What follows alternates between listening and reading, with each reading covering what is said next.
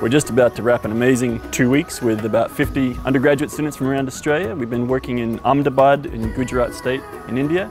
We're on the beautiful CEE campus, the Centre for Environmental Education.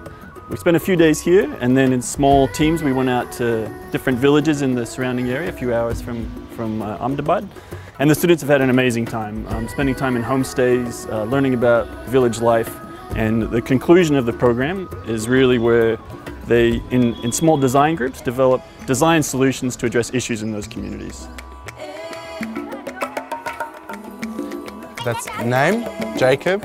Hello from Australia. yeah.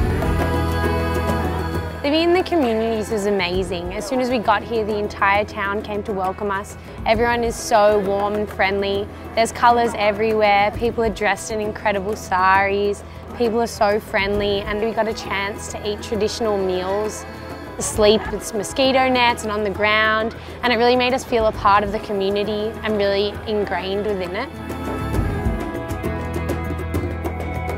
The structure of the Design Summit allowed us to work with the community instead of for the community, which allowed just for a greater amount of empathy and relationship building instead of doing things for them. We were able to learn with them to create really successful outcomes. I really enjoyed working with people from across Australia because not only were they from different backgrounds, they were also from different disciplines.